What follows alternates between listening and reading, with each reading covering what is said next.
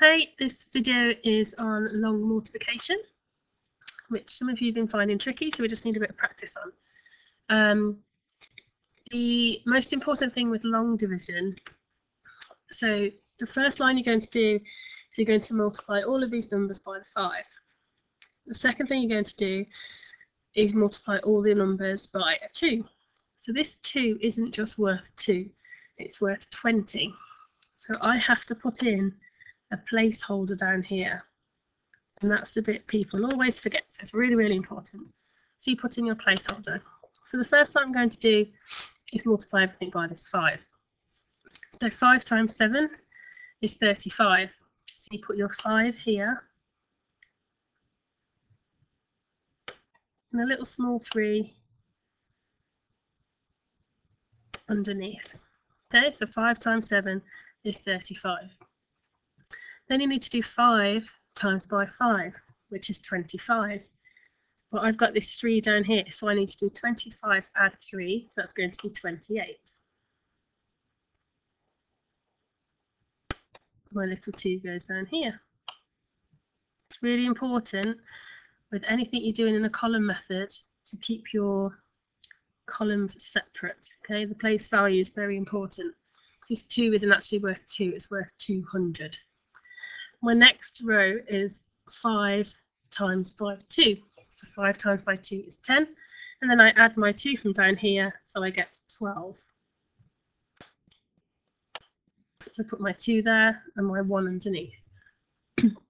then I need to do 5 times by 9, which is 45. I've got one more down here, so it's 46. So my 6 goes here. My 4 goes up there because I've finished. Okay, now as I've said, um, the next row is actually worth 20, not 2, but because I put the placeholder down here, everything's going to be multiplied by 10. So I can just multiply everything by 2, which is far easier. Before I do that, I'm just going to cross these numbers out because we don't want to get confused when we're doing our second row. Okay, I'll do this in another colour just so you can see.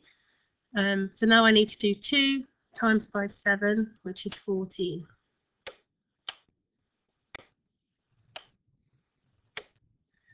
Then I need to do 2 times by 5, which is 10. Add my 1 is 11. And 2 times by 2, which is 4. Add 1, which is 5. And I've got 2 times by 9, which is 18. So my 8 goes there. My 1 will make another column. Okay, just going to scroll down. Okay, so we haven't finished there. Um, we've worked out what 5 times 9,257 is, and we've worked out what 20 times 9,257 is. We need to add them together. So I'm going to add them here. So I've got 5 add 0 is 5. I've got 8 add 4, which is 12. So my 2 goes there. That's let's draw a small line. Okay, that's easier. So 8 add 4 was 12, so I've got my 2 there, I'm just going to put a 1 underneath. 2 add 1 is 3, add my 1 is 4. 6 add 5 is 11, so my 1 goes there, 1 underneath. 4 add 8 is 12, add my 1 is 13 and then you've got nothing there, so nothing add 1 is 1. Add your 1 is 2. So 9,257 times 25 is 231,425.